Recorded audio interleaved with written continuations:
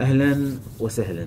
آه، المتابع أحمد سألني سؤال جميل جدا وهو يقول إن في الجينوس كان في نظام إنك أنت تقفل ال keyboard برقم سري وأنا رديت عليه checkت ورديت عليه وقلت له إن ال A 5000 ما فيها الخدمة. وهو قال لي أصلا الجينوس بعد مو موجود direct لازم تنزل software وأنا أقول احتمال يكون حتى هني تنزيل software ولكن عشان ما حد يسأل في المستقبل توجد خدمة قفل الشاشة في ال A 5000 فقط. إنك تقفل الشاشة. كيف؟ أبى أقول لك. تروح المنيو.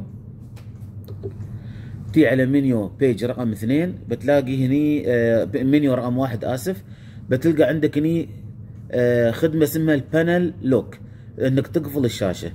تضغط على ال panel lock يطلع لك هاي صفحة الأرقام تختار لك ثلاث أرقام رقمين على راحتك. أنا بختار مثلا تسعة تسعة تسعة لاحظ معايا مجرد ما أضغط okay شوف الشاشة تقفل عندك. شوف يوم تضغط عليها تطلع لك مرة ثانية الصفحة هذه عشان انك تحط الرقم وتفتح عند شوف ال keyboard كامل يقفل ما يبدل الأصوات ما يبدل أي شيء حتى ما يعزف بعد حتى عزف ما شيء.